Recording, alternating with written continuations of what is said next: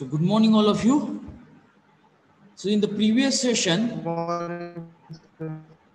okay, in the previous session, we discussed about one of the energy source. We say that voltage source is right. As we know that the voltage source has its two types. One is an ideal voltage source. Another one is a real voltage source. And the current source is also having the same type of two types. So ideal current source and the real current source. So this is the symbol of ideal voltage source. As we know that when I say that ideal, it means that it's an imaginary or concept. And that uh, imaginary concept is also known as constant voltage source because it will maintain the constant terminal voltage. So this 5 volt is that ideal voltage source. It will maintain a constant voltage across this 10 ohm. No matter what value of resistance is connected, no matter what value of current is drawn from the circuit. Again, you can take that another one example. This 10 volt is also that ideal voltage source. So definitely it will create a same voltage across this 5 ohm resistance. There is no any another voltage drop in any part of the circuit and that is that ideal case. That's why we say that it's ideal voltage source. Okay. So as we know that ideal voltage source will maintain the constant terminal voltage that's why we say that a very important thing about that ideal voltage source and that is nothing but ideal voltage source has zero internal resistance. And this sentence it may ask for MCQ type of a question. Ideal voltage source has dot dot internal resistance. So you must know that as the ideal voltage source will maintain the constant voltage across its terminal, it means that it has its zero internal resistance. But when we discuss about that the real voltage source, definitely it has its a some finite value of internal resistance and that internal resistance is always denoted in a series. Because as we know that the voltage drop is always in a series resistor is there. That's why there is a series resistance in internal resistance here. So this is also that one important point that ideal real voltage source has internal resistance and it can be represented in series with uh, the voltage source and that is also that one MCQ type of a question. How the internal resistance of a real voltage source is represented. So the answer is, it's a series. Is it right? So these are the two important concepts related to that voltage source. And now, today, we are going to discuss about the current source.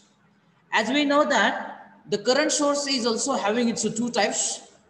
One is a ideal and another one is a, uh, the real. Is it right? So let's we try to discuss about first ideal current source. Similarly, how the voltage source will maintain the constant terminal voltage because it is a voltage source, ideal voltage source. So here ideal current source will provide the constant current. That's why this voltage source is also known as a constant current source.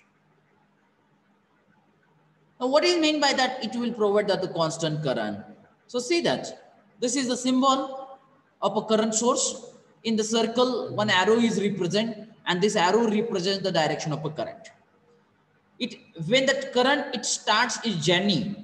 So definitely this point we consider as a, a positive terminal. When the current leave it's a journey that point we consider as a the negative terminal. So this is represent with that current value and we know that it has its uh, unit ampere so that it is represented with the a. It has its a two terminal. Let's we consider that it's a terminal a and or the terminal a we consider as a positive terminal and terminal b we can consider as a negative terminal and in between these two terminal A and B, we can connect that load or resistance or resistances. But the thing is that as we say that this is a ideal, this is a ideal, it means that it will provide the constant current Means what the value of resistance you can connect it in between the terminal A and B, it doesn't matter. You can connect any value of a resistance in between the terminal A and B, but this ideal current source will provide the constant current to it. मग जर तुम्ही ए आणि B मध्ये दहा ओमचा resistance connect करा suppose हा ideal current source हा to Ampere's आहे if you connect the 10 ohm resistance in between the terminal A and B, so definitely it will circulate the 2 ampere current in uh, this 10 ohm resistance. In place of 10, if you connect the 20 ohm resistance in between the terminal A and B, then also this 2 ampere current it will flow. It means that what value of resistance is connected in between the terminal A and B, it doesn't matter. But only the value of current source, it will provide the same value of current in between the terminal A and B. That's why it is called as a constant current source. Is it that clear? So try to read it. So these are the terminals of ideal current source. Is it right? An ideal current source is one which will supply same current to any resistance connected across its terminal. मग ह्या terminal ए आणि B मध्ये कोणताही कितीही व्हॅल्यूचा तुम्ही resistance connect करा, तर त्या resistance मधून फ्लो होणारा करंट हा कायम या करंट सोर्स एवढाच but it is the ideal case it is the ideal case because same value of current will provide in between the terminal A and B to any value of a resistance. That's why we say that this is the ideal. And that's why I say that this is the imaginary concept. Practically, it doesn't happen like that. Practically, the current may vary based on its internal resistance. Because here, as we know that the basic property, now just check it that, as you know that the current can be divided in a parallel circuit only the current can be divided in a parallel circuit only. And one of the basic property of the current is current always take least resistance path. Least resistance and shortest path. Do you know that this property? Of that current current हा कायम least resistance म्हणजे कमीत कमी रेजिस्टन्सचा path घेतो because that's why we say that the current flowing through that any particular branch is inversely proportional to the resistance of that resistance. The current always take the least resistance and the shortest path. This is the basic property of a current. Now here we say that that ideal current source will provide the constant current, same current to any value of resistance connected between the terminal A and B म्हणजे या ए आणि B मध्ये कुठलाही व्हॅल्यूचा resistance तुम्ही connect करा तर ideal current source हा constant current provide करतो. So can I say that ideal current source has a infinite internal resistance आणि दॅट रेजिस्टन्स आता इन्फायनाईट इंटरनल रेजिस्टन्स आहे म्हणतोय. मग जर इन्फायनाईट इंटरनल रेजिस्टन्स असेल तर करंट तो पाथ घेईल का? Definitely no if current will not take the path of a infinite resistance that's why the same current will flow through the terminal a and b and we call it a constant current source this is the basic difference between the ideal voltage source and that ideal current source ideal voltage source we say that zero internal resistance what we say that 0. An ideal current source has an internal resistance, but it is infinite. And that's why it would provide the constant current between the terminal A and B. This is the major difference between that ideal voltage source and that ideal current source. Is it right? Is it that clear? Now just check it here. ideal current source has an infinite internal resistance. Again, the same question it may ask for MCQ type of question. Infinite internal resistance and may be considered as a remote कारण तो infinite resistance जर असेल तर current हा infinite रेजिस्टन्सचा path घेतो का कारण basic basic property काय आहे करंटची की that current always take the least resistance path जर एखाद्या पर्टिक्युलर ब्रँडचा रेजिस्टन्स जर इन्फायनाईट असेल तर डेफिनेटली त्यातून करंट फ्लो होणार नाही. मग करंट जर फ्लो होणार नसेल इंटरनल रेजिस्टन्स मधून तो जर तो तिथं प्रेझेंट असला काय तो तिथं प्रेझेंट नसला काय it does not matter so that's why it may be consider as a remote get it, my point but ideal current source has a infinite internal, it is assumed that it has its infinite internal resistance.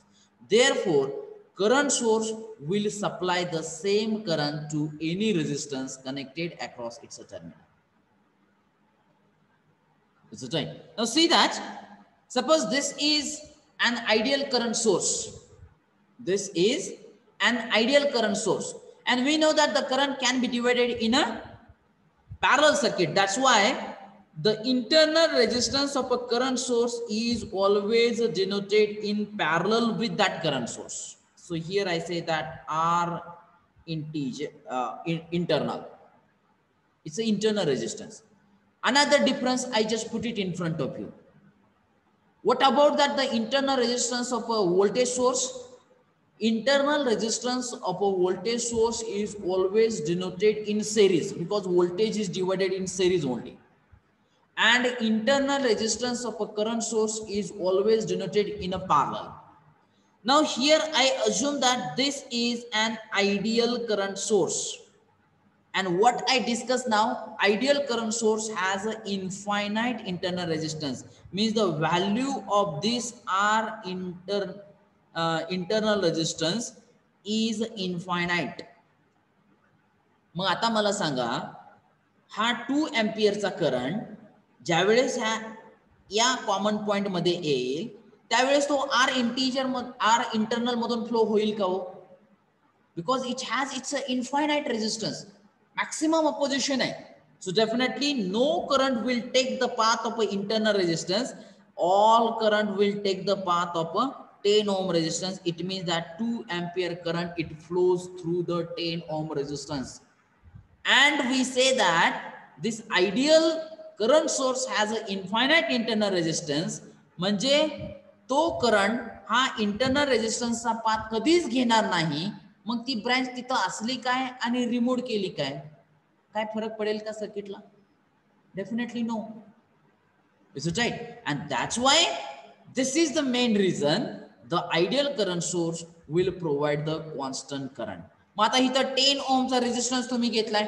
मग त्या ten ओमच्या resistance मधून two ampere current flow होईल. मग हा या ठिकाणी तुम्ही twenty ओमचा resistance घ्या तरी देखील तुम्हाला टू एम्पियरच करंट फ्लो कारण इंटरनल रेजिस्टन्सचा करंट हा कधीच पाथ घेणार नाही कारण रेजिस्टन्स हा मॅक्सिमम आहे इन्फायनाईट आहे so that's why we say that it would provide a constant current why the name it is given as a constant current source. Take it another one example here. आता आपल्याला माहिती आहे की या ten ohm मधून जो काय current flow होणार आहे या सर्किटमध्ये तो टू एम्पियरचा असेल. मग त्या ठिकाणी जर व्होल्टेज किती डेव्हलप होत आहे जर ते कॅल्क्युलेट करायचा प्रयत्न केला तर apply Ohm's law I into R I is two R is ten so definitely it's twenty ohm you can take it another one example आता मी पुन्हा तोच आयडियल करंट सोर्स घेतलाय. फक्त इथं रजिस्टरची व्हॅल्यू चेंज केली आहे. बरोबर आहे? मग या ठिकाणी तुमचा इंटरनल रेजिस्टन्स असेल. त्या करंट सोर्सचा इंटरनल रेजिस्टन्स असेल. परंतु या इंटरनल रेजिस्टन्सची व्हॅल्यू किती आहे? इन्फायनाईट आहे. म्हणजे तुमचा जो काय फ्लो होणारा टू एम्पियर करंट आहे the same 2 ampere current it will flow through this 20 ohm resistance. Can you calculate that voltage across it? So definitely it's 40 volt. म्हणजे रेझिस्टन्सची व्हॅल्यू तुमची किती असू द्या त्यातून फ्लो होणारा करंट जो असणार आहे तो आयडियल करंट सोर्स एवढा असणार आहे. त्यामुळं त्या रजिस्टरच्या अक्रॉस व्होल्टेज सुद्धा व्हॅरी होऊ शकतं. परंतु तुमचा करंट हा कायम कॉन्स्टंटच असेल. आणि तो करंट किती असेल? That is nothing but the value of a ideal current source is there practically it is not possible कारण प्रॅक्टिकली हा इंटरनल रेजिस्टन्स हा इन्फायनाईट नसणार आहे practically that internal resistance is a finite so definitely no all current will flow through that the uh, load resistance is there so that we cannot say that the practicality is not possible that's why that this concept we consider as an imaginary concept is it that clear yes or no Yes. very small voice it comes may i repeat Yes, once- sir. May I repeat once again? Or I will try to explain that the real voltage, uh, real current source, and then if you have that the problem, then please raise that problem. Once again, I will try to repeat for your understanding purpose. Okay. So this is about that ideal current source. Now let's we try to discuss about the the real real current source. Now this is the actual current source. So the real current source has a finite internal resistance. As I rightly mentioned that ideal current source has an infinite internal resistance. That's why it would provide the constant current. But the real current source has a finite internal resistance. Therefore, load current will change as the value of load resistance changes.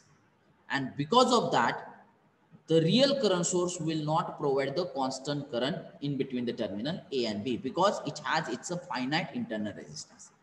And the another important point is that we know that the current can be divided in a parallel circuit. That's why the internal resistance of a current source is always represented in parallel with that circuit. It means that if you see that this is an ideal current source. Because here I have not shown that that internal resistance. Because ideal current source has an internal resistance, but it has its infinite value so that it is considered as a remote. So that I have not shown that, that internal resistance. But if we want to represent that the real current source, it has its a finite internal resistance and it can be represented in parallel with that current source. Now this is a ideal current source.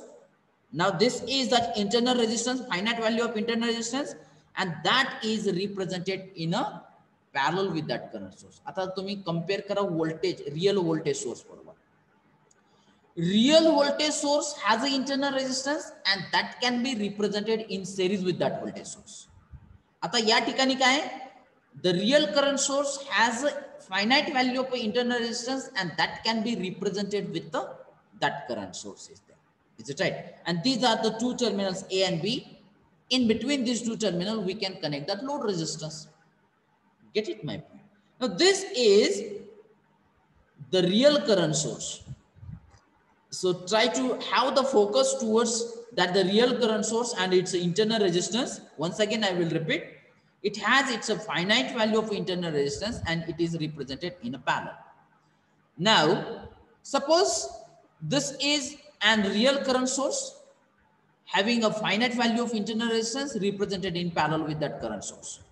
And now we have connected a one load resistors between the terminal A and B. Now what happened actually? Just have a concentrate on it.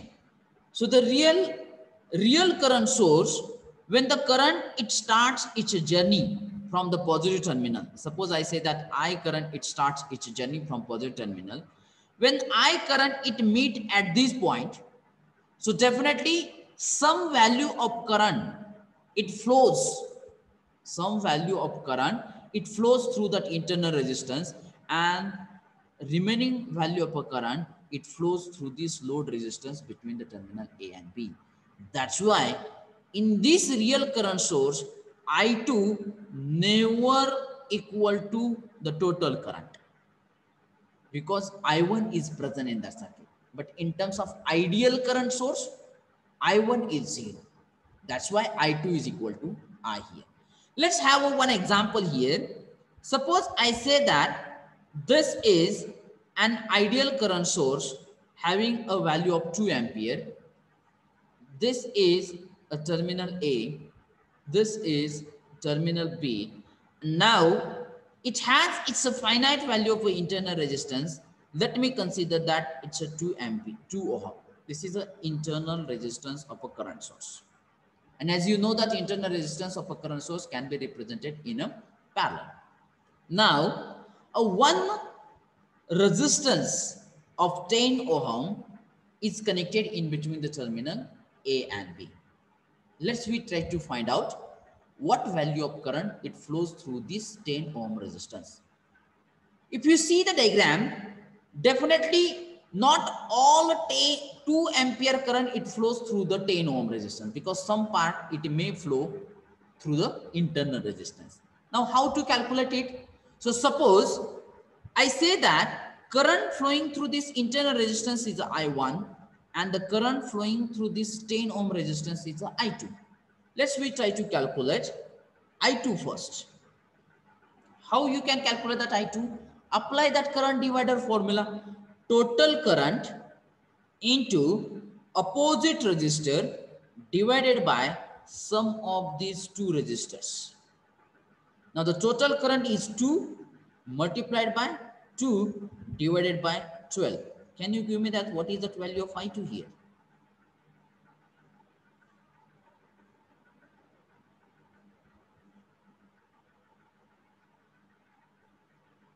Zero, 0 0.334.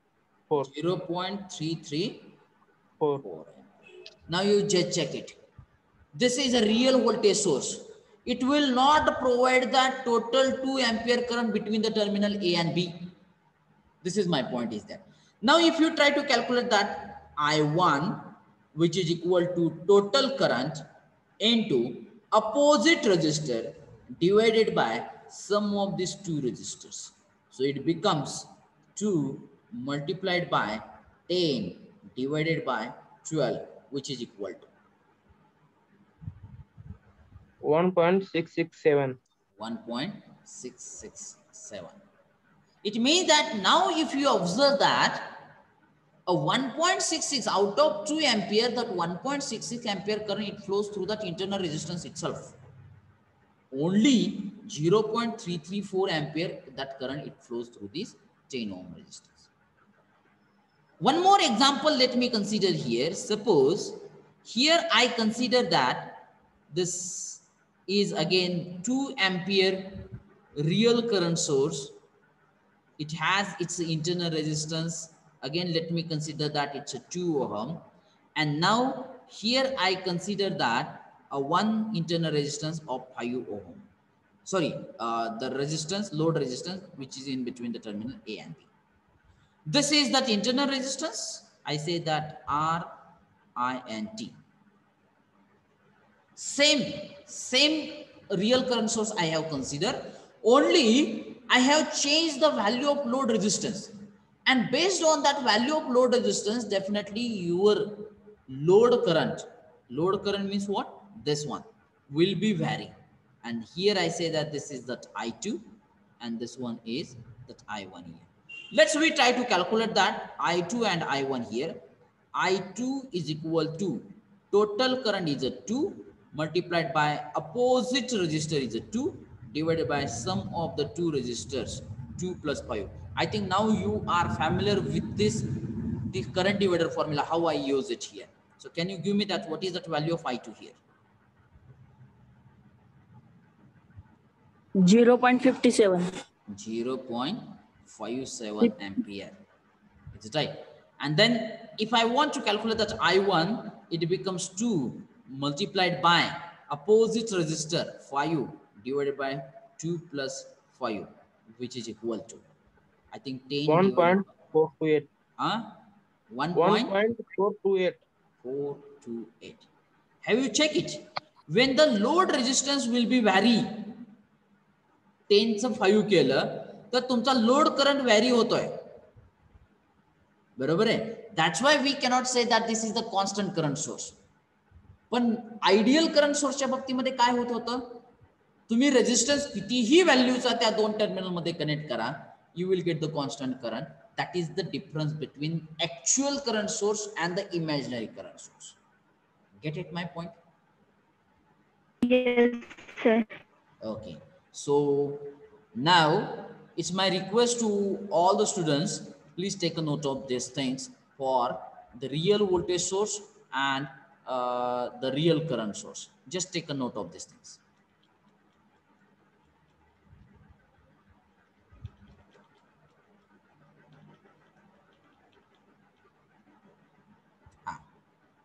So from this point, all of you please take note down the slides here.